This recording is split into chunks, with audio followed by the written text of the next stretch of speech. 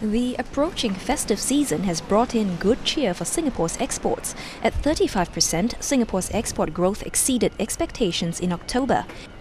Chips used in potential Christmas presents, such as the iPad and the iPhone, have contributed to strong overseas demand for Singapore made electronics, whose shipments grew 34% year on year and non electronics exports, which include pharmaceuticals, were up almost 35%.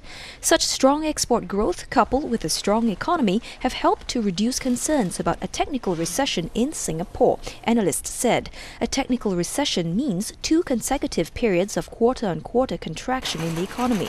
Even if it did decline slightly in the fourth quarter, we'd still be showing annual growth at, at 14% for the full year, which should still be probably higher than just about any other country in the world.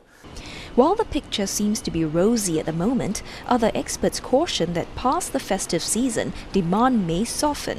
The numbers are going to look a lot more sobering next year. Uh, I think we'll see growth moderating down to single digit, towards single digit pace, which is a more sustainable pace. So yes, the, the, the economy will begin um, to moderate to a more sustainable pace, but it's not going to slump all, uh, all out either. For the full year, exports of made in Singapore non oil products are expected to clock in a healthy growth rate ranging between 20 and 25%, analysts said.